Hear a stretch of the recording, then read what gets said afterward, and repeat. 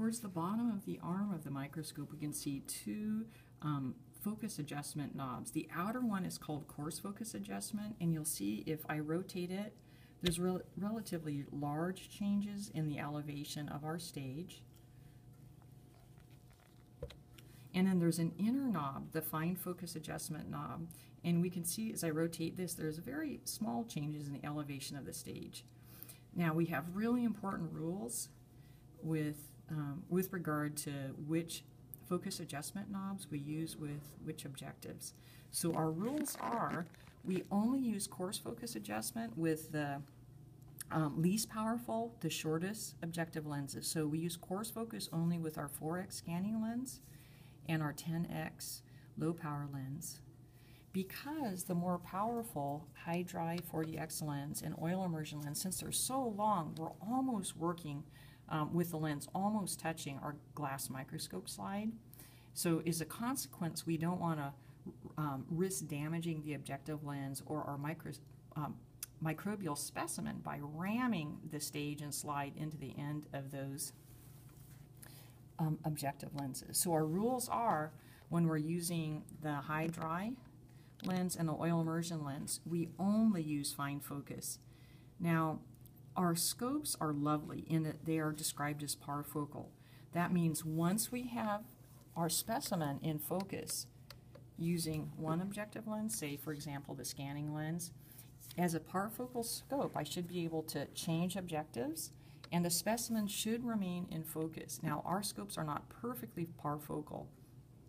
So what we'll be doing is we'll be getting our specimen in focus. We always start out with scanning lens. We'll be using coarse focus right?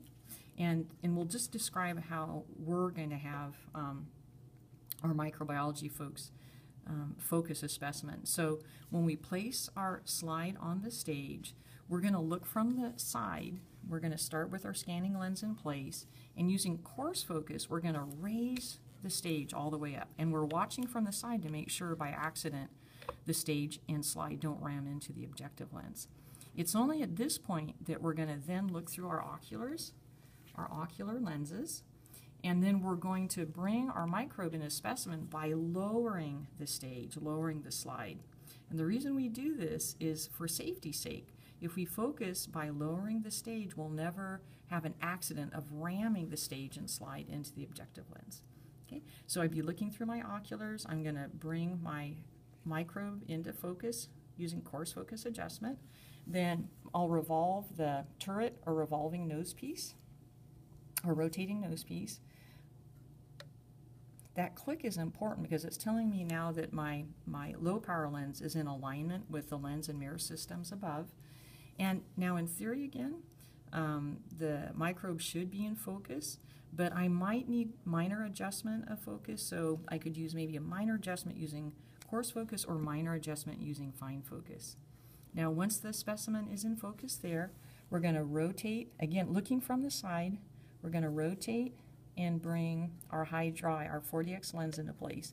Now the question is, which focus adjustment knob can we use with a high dry lens?